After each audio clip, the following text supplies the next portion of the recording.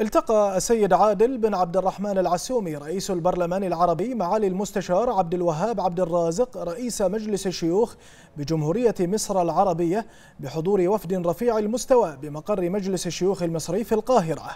وفي بداية اللقاء قدم رئيس مجلس الشيوخ المصري التهنئة للسيد عادل بن عبد الرحمن العسومي بمناسبة انتخابه رئيسا للبرلمان العربي. متمنيا له ولأعضاء هيئة مكتب البرلمان العربي الجديد التوفيق والسداد في قيادة عمل البرلمان العربي نحو مرحلة جديدة من تعزيز التضامن العربي وتطوير مسيرة العمل البرلماني العربي المشترك.